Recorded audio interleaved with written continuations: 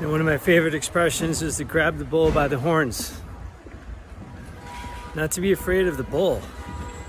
Not to be afraid of a challenge. Not to be afraid of a difficulty. Something you're hesitant to do. I know for me, many years, public speaking was a great challenge. I avoided it.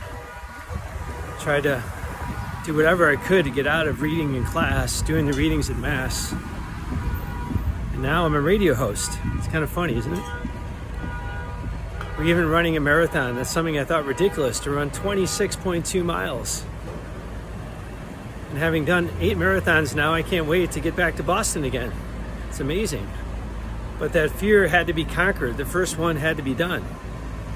God is going to put challenges in front of you continually things that are going to stretch you a little bit. Don't be afraid of it. Lean into Him, trust Him, and, and take the risk with love. It's going to make you a stronger person and more fulfilled person. God bless.